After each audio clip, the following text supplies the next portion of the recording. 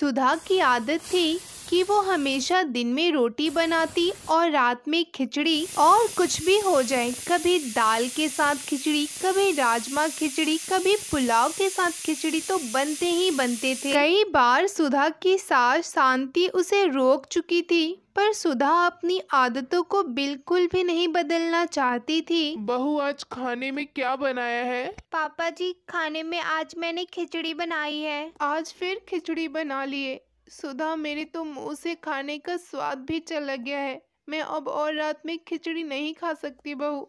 कभी कभी बनाओ तो मैं थोड़ा खा भी लूँ।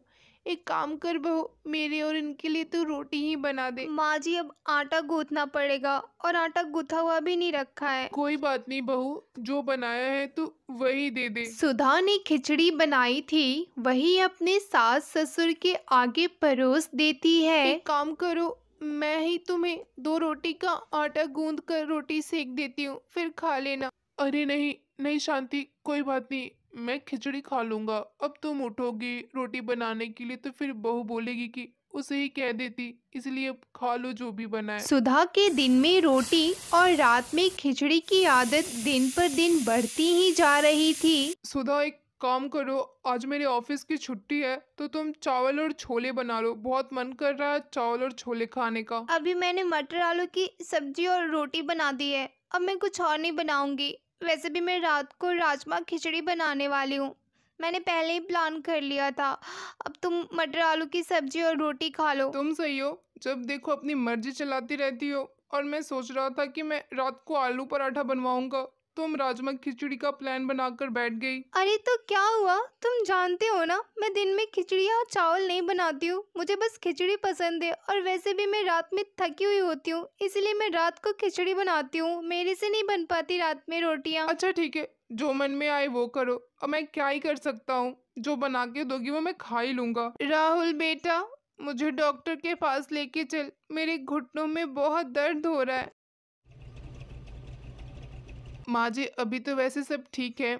बस थोड़ा आप अपने खाने पीने का ध्यान रखिए, ठंडी चीज़ें कम खाइए। माँ जी, जितना हो सके चावल कम कर दीजिए और दोनों टाइम बस रोटियाँ ही खाइए। सुधा, डॉक्टर ने माँ को चावल और खिचड़ी खाने से मना किया है। तो तुम उनके लिए रात में आज से रोटियाँ बना के देना। सुधा अपनी सास के लिए दिन में रोटियाँ तो बना देती है, लेकिन वो रात को आटा नहीं गूंदना चाहती थी, इसीलिए वो आटा रख देती है और रात में उसी आटे से सुधा के लिए रोटियाँ बना देती है। और वो कुछ दिनों तक ऐसा ही करती है। एक दिन सुधा अपने अलमारी के ऊपर से कुछ सामान उतार रही थी तभी उसका संतुलन बिगड़ता है और वो गिर जाती है।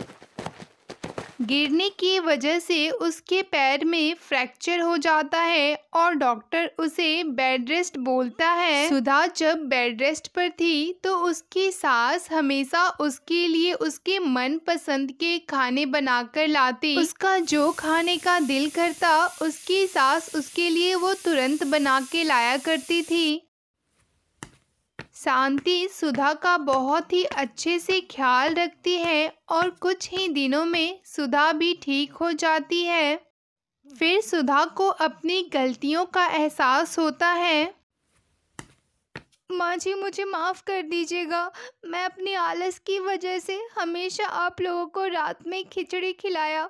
मुझे माफ़ कर दीजिए माँ जी आगे से ऐसा नहीं होगा। अरे सुधा बेटा कोई बात नहीं। तुम तो हमारी बेटी जैसी हो। बस तुम अपना ख्याल रहो और हमेशा खुश रहो बेटा। फिर सुधा उस दिन के बाद से अपने सास ससुर के लिए हमेशा रोटी बनाया करती और जो भी राहुल डिमांड करता, उसके हिसाब से वो खाना बना के उसे खिलाती थी। अगर आपको भी हमारी वीडियो अच्छी लगी हो तो जल्दी से वीडियो को लाइक और चैनल को सब्सक्राइब कर दीजिए।